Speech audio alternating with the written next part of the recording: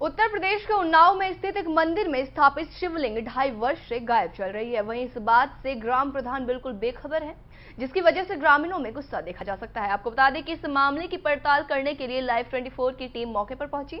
वहाँ पर जब ग्रामीणों से बातचीत की गई तो ग्रामीणों ने कहा कि इस मंदिर का शिवलिंग ढाई वर्ष से गायब है और इस बात की खबर अभी तक प्रधान को नहीं है। इसके साथ ही ग्रामीणों ने कहा कि ये मंदिर जहाँ पर बना हुआ है, वहाँ के चारों तरफ़ केवल एक विशेष समुदाय का बसेरा है जिसकी वजह से न ही मंदिर का कोई रखवाला है और न ही मंदिर से क्या गायब हो रहा है इसकी जानकारी कोई रख पाता है। क्या नाम है आपका?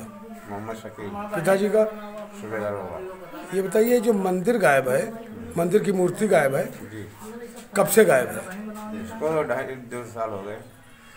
अच्छा इसकी खबर किसी को न मोहल्ले वालों ने पुलिस को दी है न ही गाँव वालों ने दी न प्रधान ने दी। किसी ने नहीं। क्यों? क्या मालूम किसी ने नहीं दी प्रधान से कहा भी गया कि ये मंदिर का अपना रिपेयरिंग करा दीजिए या कुआँ करवा दीजिए। हम्म। किसने कहा था? आपने कहा था? सभी लोगों ने कहा। अच्छा प्रधान ने कोई ध्यान नहीं दिया। नहीं। सौ फ़ीसदी प्लेसमेंट के साथ हम देंगे आपको मौका। Live 24 media institute admission open registration के लिए कॉल करें। Nine five six zero four 64170.